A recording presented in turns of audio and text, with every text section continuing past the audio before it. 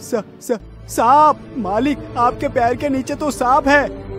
भोला इतना कहता ही है कि तभी सांप सेठ के पैर में डस लेता है। हे भगवान ये क्या हो गया? क्या आज ही ये अनर्थ होना था? सेठ जी आप चिंता न करिए मैं अभी जड़ी बूटी लेकर आता हूँ। आपको कुछ भी नहीं होगा। इतना कहकर भोला जाता है और पौधों से पत्तियाँ तोड़ता है और जल्दी ही सेठ के पास वापस आ जाता है। सेठ जी आप आँखें मत बंद करो। आपको कुछ नहीं होगा। मैं आपको दवाई लगा देता हूँ। भोला जल्दी से उन सारी पत्तियों को अपनी हथेली पर मसलता है और उन पत्तियों का रस सेठ के घाव पर डालता है। दवाई लगने के बाद कुछ ही देर में सेठ पूरी तरह स्वस्थ हो जाता है। भोला मैं तुम्हारा ये एहसान कभी नहीं चुका सकता। यदि आज तुम नहीं होते तो ये मेरा जीवन आज ही समाप्त हो जाता। नहीं नहीं मालिक आप ऐसा क्यों कहते हैं? मैं आपका वफादार हूँ। मेरे रहते भला आपको कुछ कैसे हो सकता है? मैं अपनी जान देकर आपकी रक्षा करूँगा मालिक। अच्छा अच्छा। भोला समय निकल रहा है। चलो जल्दी चलो। इतना कहकर दोनों वहाँ से चल पड़ते हैं और जल्दी ही दोनों एक गुफा के पास पहुँचते हैं। चलो भोला, जल्दी चलो। आज हमें सबसे ज़्यादा समय हो चुका है।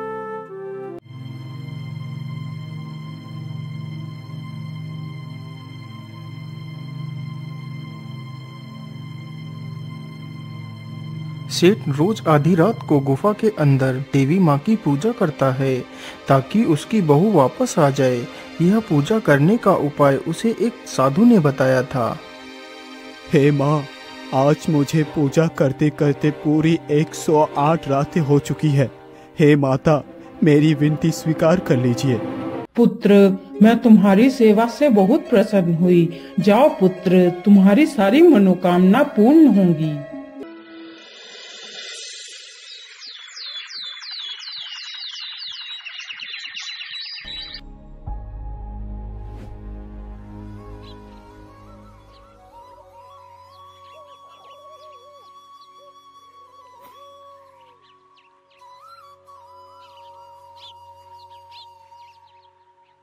बेटा तुम आज ही बहू को लेने के लिए जाओ। माता ने हमें आशीर्वाद दिया है कि हमारी मनोकामना पूर्ण होगी। यदि ऐसी बात है पिताजी तो मैं ज़रूर जाऊँगा। अच्छा ठीक है पिताजी अब मैं चलता हूँ। हाँ हाँ ठीक है बेटा लेकिन क्या तुम अकेले ही जा रहे हो? जी पिताजी मैं अकेले ही जा रहा हूँ। अरे नहीं नहीं बेटा तुम अकेले मत जाओ। तुम ऐसा करो अपने साथ में भोला को भी ले जाओ। तो ज़्यादा अच्छा रहेगा। अच्छा ठीक है पिताजी। मैं भोला भैया को भी अपने साथ ले जाता हूँ।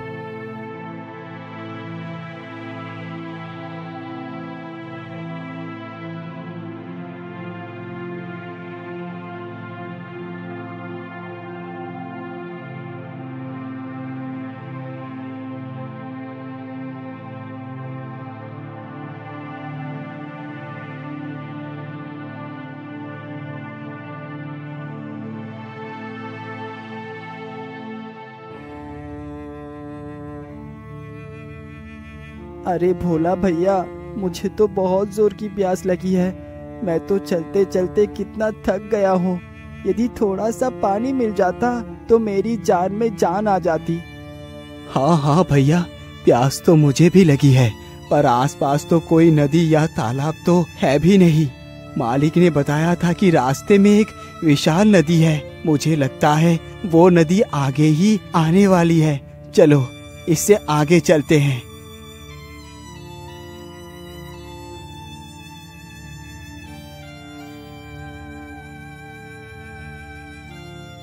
अरे भोला भैया नदी तो आ गई। चलो जल्दी से पानी पी लेते हैं। इतना कहकर दोनों नदी के पास पहुँचते हैं।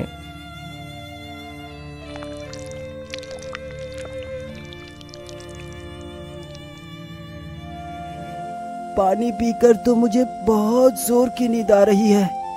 अरे इसमें कौन सी बड़ी बात है? आप इस पेड़ के नीचे थोड़ा सा आराम कर लीजिए फिर आगे चलेंगे। इतना सुनते ही सुरेश पेड़ के नीचे लेट जाता है और सो जाता है। लेकिन भोला को नींद नहीं आती। वह वहीं पेड़ के नीचे बैठा रहता है। भोला को बैठे बैठे काफ़ी समय गुजर जाता है। अरे भैया चलिए। अब उठ जाइए। हमें काफ़ी समय हो चुका है। हाँ हाँ भैया चलो चलते हैं। मैं तो बहुत गहरी नींद में चला गया था। अरे रुक जाओ रुक जाओ भाई मैं अभी आपके पास आता हूँ। हाँ हाँ भाई जल्दी से आइए हमें उस तरफ़ जाना है। मांझी जल्दी से अपनी नाव को किनारे पर लाता है। आइए भाई हमारे नाव पर आ जाइए। मैं अभी आप लोगों को नदी पार करवा देता हूँ। इतना सुनते ही वे दोनों नाव पर चढ़ जाते हैं। मांझी जल्दी से नाव को आगे बढ़ा देता है। अरे भाई आप लोग कहाँ जा रहे हैं? अरे भाई हम लोग अपनी ससुराल जा रहे हैं। इसी प्रकार धीरे धीरे मांझी नदी को पार करवा देता है। माझी भाई आपके कितने पैसे हुए? भाई आप दोनों के दो रुपए हुए। इतना सुनते ही सुरेश जल्दी से दो रुपए निकालता है और मांझी को दे देता है। फिर वे दोनों वहाँ से चले जाते हैं। दोनों चलते चलते जल्दी ही ससुराल पहुँच जाते हैं।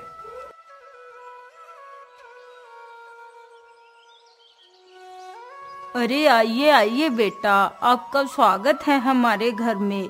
आप तो कितने दिनों के बाद आए हैं। अपनी सासू माँ के मुख से यह बात सुनकर सुरेश हैरान ही हो जाता है। जो सास कल तक रिश्ता तोड़ने की बात करती थी वह अचानक इतना कैसे बदल सकती है? अरे माँ जी मैं अपनी पत्नी रेणुका को लेने आया हूँ। हाँ हाँ बेटा क्यों नहीं? आप चाहे तो आज ही अपनी पत्नी को ले जा सकते हैं। हमें तो कोई ऐतराज नहीं। अरे ये तो और भी अच्छी बात है। इस बुढ़िया ने तो कोई विरोध ही नहीं किया। मौका अच्छा है। मैं आज ही अपनी पत्नी को ले जाता हूँ। हो सकता है कल ये बुढ़िया अपनी बात से मुकर जाए तो क्या होगा? हाँ ठीक है माँ जी। मैं आज ही अपनी पत्नी को ले जाना चाहता हूँ। चलो रेणुका मेरे साथ चलो। फिर बड़े ही हँसी खुशी रेणुका की माँ ने उन दोनों को विदा कर दिया।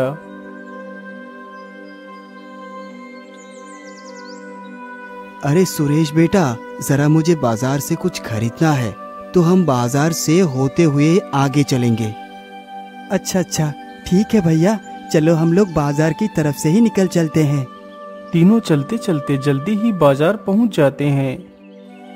अरे भाई जरा मुझे एक कुल्हाड़ी और एक रस्सी दे दीजिए। ये लीजिए भाई कुल्हाड़ी और रस्सी। आप मुझे इन दोनों के दस रुपए दे दीजिए। बेटा सुरेश इन्हें दस रुपए दे दीजिए। अच्छा ठीक है ये लीजिए दस रुपए। सामान खरीद कर वे तीनों आगे बढ़ते हैं। रस्सी और कुल्हाड़ी को देखकर सुरेश को कुछ अच्छा नहीं लगा। अरे भोला भैया आपने ये रस्सी और कुल्हाड़ी क्यों खरीदी है? अरे कुछ नहीं बेटा समय आने पर मैं तुम्हें सब कुछ बता दूँगा। तीनों चलते चलते जल्दी ही वापस उसी नदी के पास पहुँच जाते हैं। अरे माझी भाई जरा हमें नदी पार करवा दीजिए। हाँ हाँ क्यों नहीं? आइए हमारे नाव पर बैठ जाइए। मैं अभी आप लोगों को नदी पार करवा देता हूँ। अरे रुको बेटा। आप इस नाव पर पहले नहीं चढ़ सकते। लेकिन क्यों? मैं इस बार नाव पर पहले क्यों नहीं चढ़ सकता? नहीं बेटा पहले मैं इस नाव पर चढ़ूँगा। तुम यही रुको। भोला जल्दी से नाव पर चढ़ जाता है। चलो माझी मुझे नदी के उस पार ले चलो।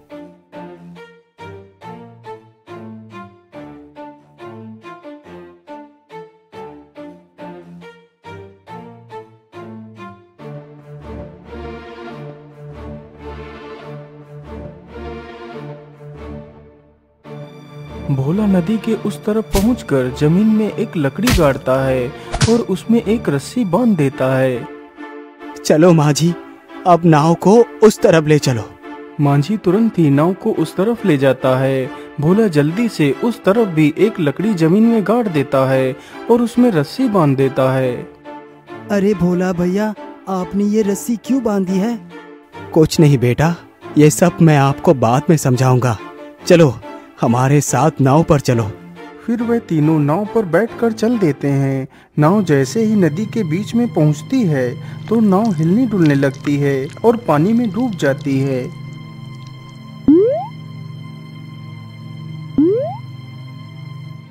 सभी लोग रस्सी को पकड़ लो और रस्सी के सहारे नदी से बाहर निकल चलो। सारे लोग उस रस्सी को पकड़कर धीरे धीरे नदी को पार कर जाते हैं।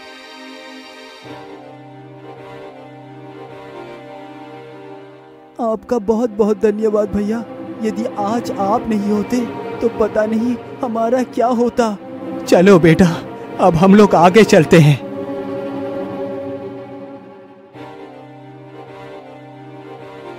फिर वह तीनों चलते चलते काफ़ी दूर निकल जाते हैं।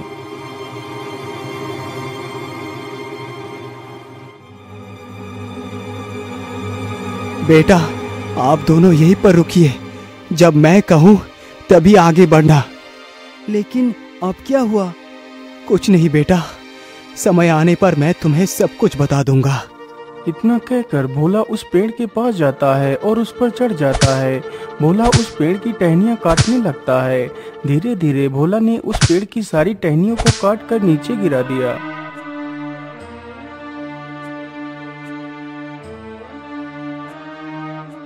चलो बेटा अब आगे बढ़ो।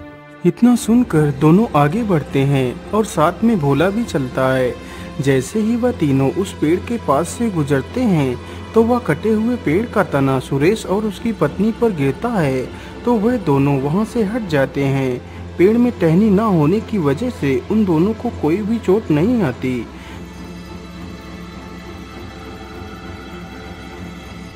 पिताजी, यदि आपने भोला भैया को मेरे साथ ना भेजा होता तो मैं जीवित लौटकर नहीं आ पाता।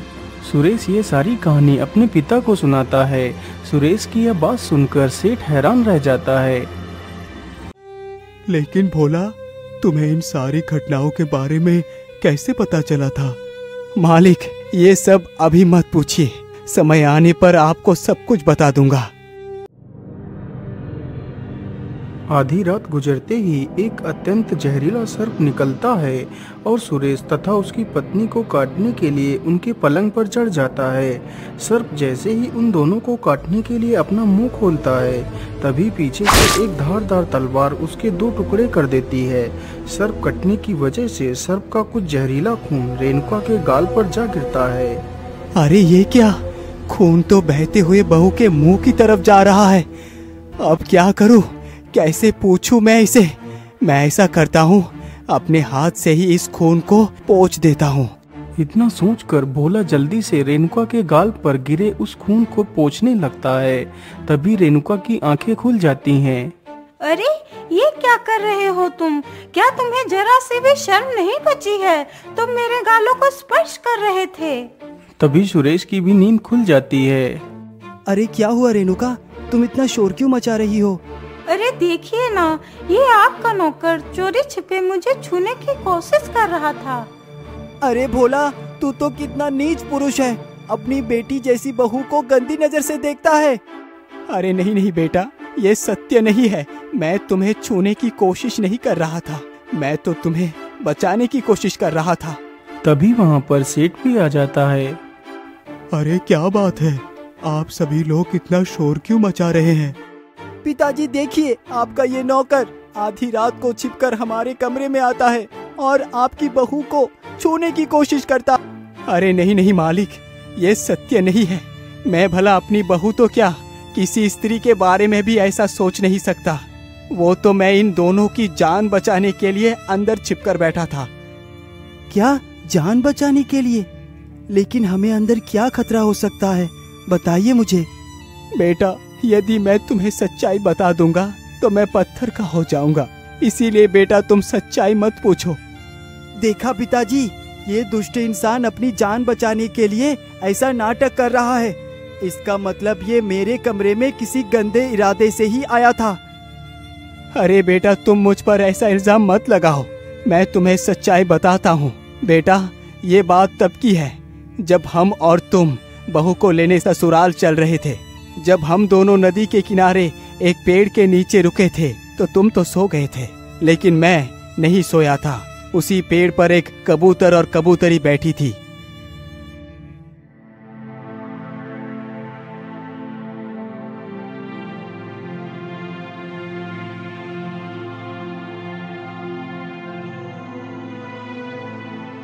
जी, क्या बात है?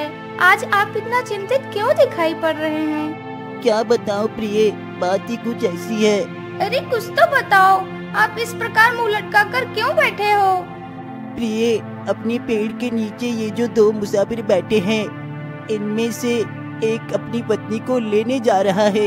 लेकिन जब वो अपनी पत्नी को लेकर वापस आएगा तो उसकी नाव इसी नदी में डूब जाएगी जिसकी वजह से वो दोनों पति पत्नी मर जाएँगे।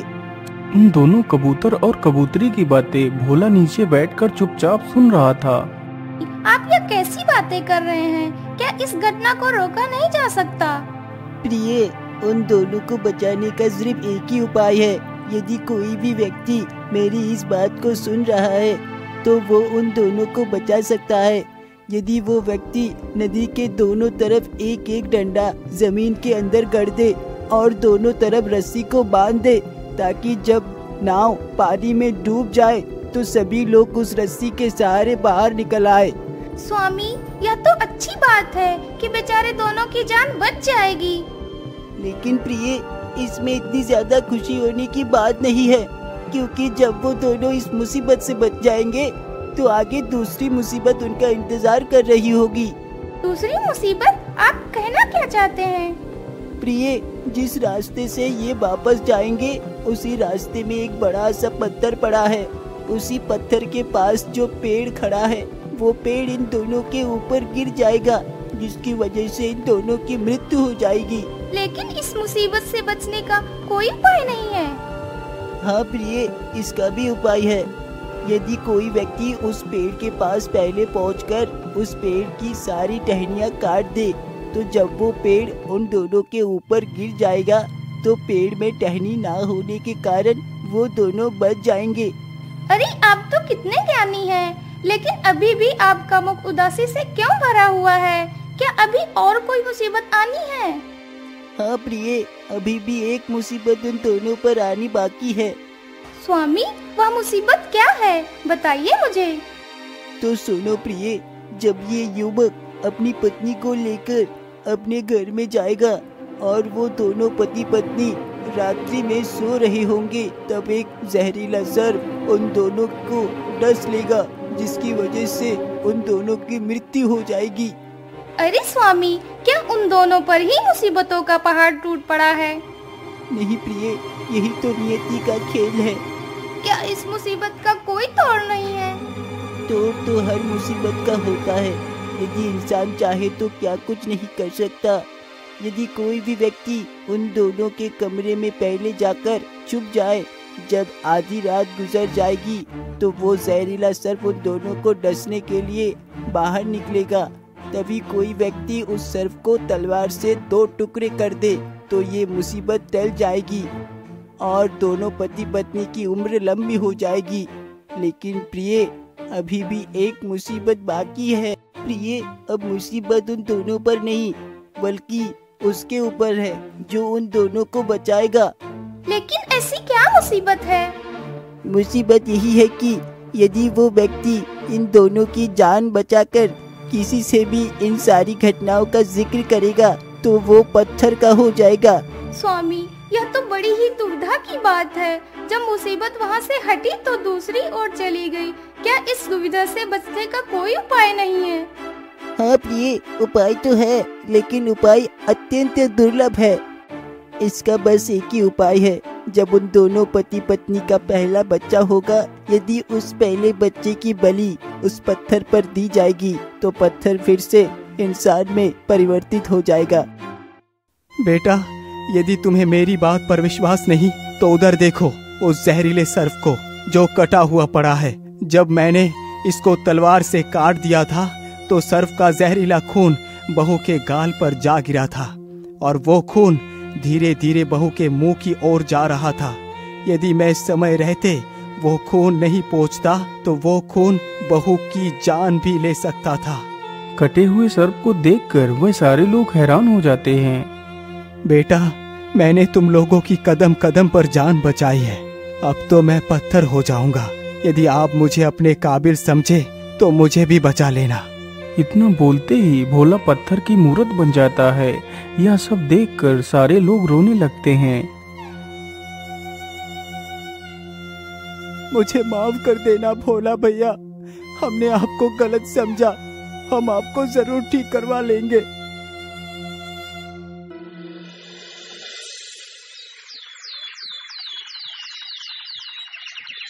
इसी प्रकार कुछ दिन गुजर जाते हैं। सुरेश की पत्नी ने एक बड़े ही सुंदर पुत्र को जन्म दिया। सभी लोग बीतते समय के साथ साथ उस वफादार भोला को भी भूल चुके थे, लेकिन रेणुका अभी भी भोला के बलिदान को नहीं भूली थी। अरे बेटा, तुम जल्दी से कल्लू हलवाई के पास जाओ और सारे राज्य में रसगुल्ले बंटवाओ। आज मेरे लिए सबसे बड़ा खुशी का दिन है।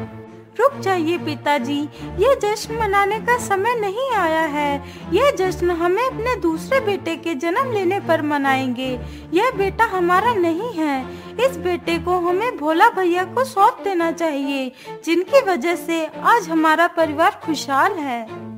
अरे रेणुका क्या तुम पागल तो नहीं हो गई हो?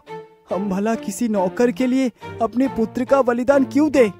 अरे नहीं जी क्या आप भोला भैया के बलिदान को भूल गए? यदि आप भूल गए हैं तो क्या हुआ?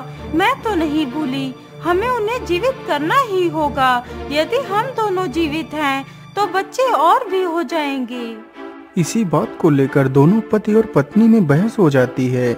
रेणुका हाथ में तलवार ले लेती है, लेकिन सुरेश उस तलवार को छीनने की कोशिश करता है। खींचातानी में तलवार बच्चे के पैर पर लग जाती है। तो बच्चे का खून निकलकर कुछ छींटे भोला की मूरत पर गिरती हैं। खून मूरत पर गिरने की वजह से मूरत फिर से इंसान बन जाती है। इस प्रकार वह बच्चा भी जीवित बच जाता है और वह नौकर भोला भी।